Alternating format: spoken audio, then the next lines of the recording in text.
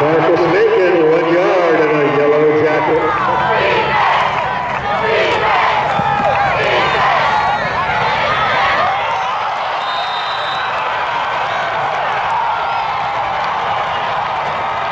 Osborne's pass completion.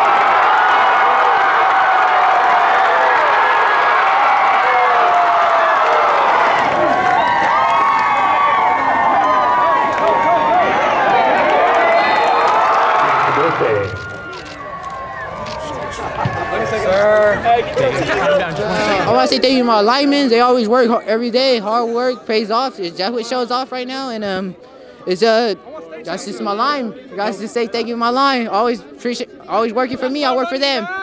It's great. It's great. It feels so happy. I can't stop smiling. I usually don't smile, but it's a just smiley day.